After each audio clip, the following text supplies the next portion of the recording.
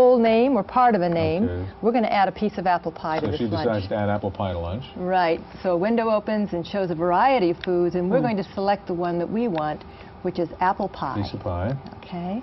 We add one piece of it, and we're done with our lunch. Okay. So the next thing would be to analyze it.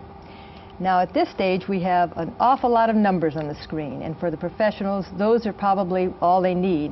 But for the rest of us who Okay, these numbers are describing all the different nutrients and ingredients that were in that meal, that's correct in the proportions you entered. which, as you say, doesn't mean much to me right now. That's, it's an awful lot. Okay. So the next